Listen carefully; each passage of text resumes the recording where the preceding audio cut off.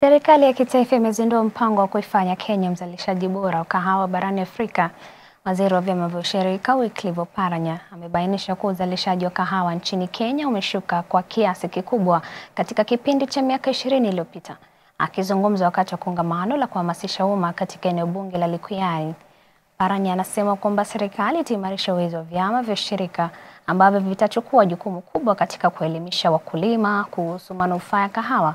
Ethiopia kwa sasa ndiyo inayoongoza kwa uzalishaji wa kahawa barani Afrika. Nataka tupande kahawa nyingi na wale ambao wana kahawa wakuwe na mazao kabisa, kwa sababu mwaka uliopita Kenya iliuza tani hamsini na moja elfu. Na ukienda kama Uganda inauza tani mia saba elfu na Kenya hapo zamani ilikuwa mbele kuliko Uganda. Sasa ile ina iko namba one ke, uh, Afrika mzima na Ethiopia, namba pili uh, Uganda.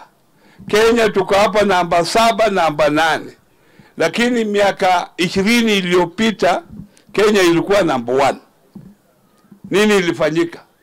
Wakati nilikuja hapa 2015 kuja kuishi hapa Lukuyani, watu humu nilikuwa natembea humu, naona watu wanapanda kawa, Siku hizi siwaoni, kwa sababu hatukuwa na mafunzo kamili, hatukuwa na cooperative kamili za kuleta sisi pamoja ili tupate mafunzo na tujue kahawa yetu inaenda wapi. This is an economic